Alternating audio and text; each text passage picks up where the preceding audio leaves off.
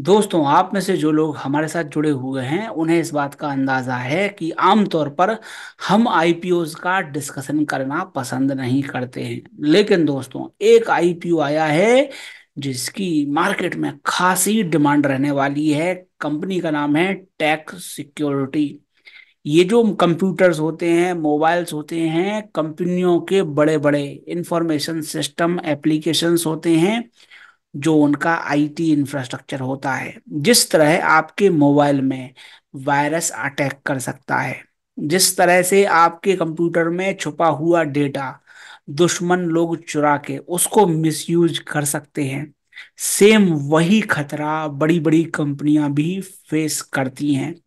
तो आमतौर पर हम लोग भले ही एंटीवायरस का इस्तेमाल ना करें साइबर सिक्योरिटीज के केस होते हैं, अखबारों में छप जाते हैं तो आम जनता इन खबरों को ज़्यादा तवज्जो नहीं देती है।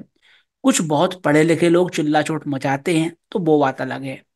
किंतु दोस्तों, जो बड़ी बड़ी कंपनियाँ हैं, उनके लिए डेटा थेप्ट डेटा की चोरी और उनके सिस्टम की सेंधमारी, सिस्टम का बैठ जाना, उससे होने वाली नेगेटिव पब्लिसिटी और ऑपरेशंस में बाधा पड़ना। कंपनियों का धंधा बैठ जाता है, कई कंपनियाँ तो मिट जाती हैं, बर्बाद हो जाती हैं। मतलब कंपनियों के लिए साइबर सिक्योरिटी सुनिश्चित करना एक बहुत बड़ा मुद्दा है।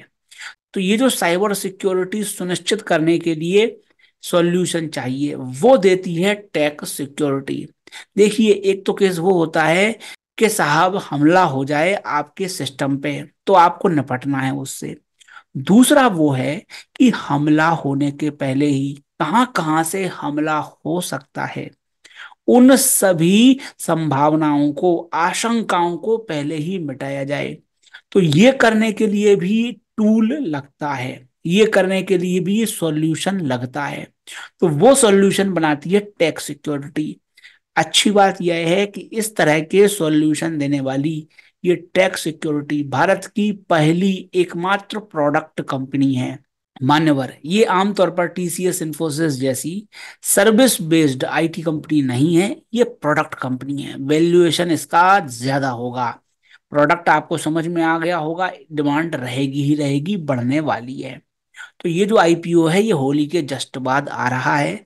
परंतु दोस्तों आईपीओ बहुत छोटा है। तीस करोड़ का आईपीओ है, जो भी पैसा उगाया जाएगा अच्छी बात यह है कि वो कंपनी में ही लगाया जाएगा। नए एम्प्लॉयज़ को हायर करने के लिए प्रोडक्ट डेवलपमेंट में पैसा लगेगा। और सोने पर सुहागा वाली बात यह है कि ये जो आईपीओ है, इसकी चर्चाएँ बहुत होने वाली हैं, क्योंकि विजय केडिया साहब और उनके सुपुत्र की इस कंपनी में अच्छी खासी हिस्सेदारी है। मीडिया में तो अभी से चर्चा चालू हो गई।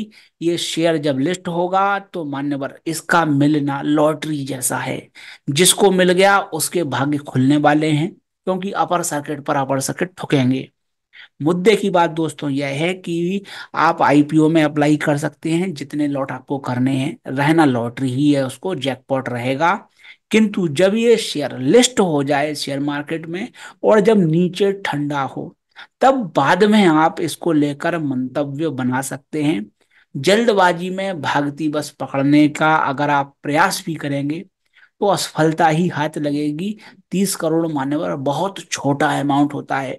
कंपनी छोटी है स्टार्टअप है, लेकिन भविष्य उज्जवल दिखाई पड़ता है।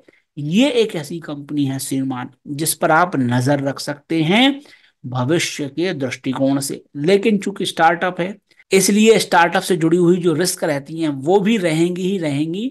तो आप देखभाल के आगे बढ़िए। रही बात रिकमेंडेशन की तो हम मान्यवर फ्री में यूट्यूब के माध्यम से किसी को टिप रिकमेंडेशन देते ही नहीं है।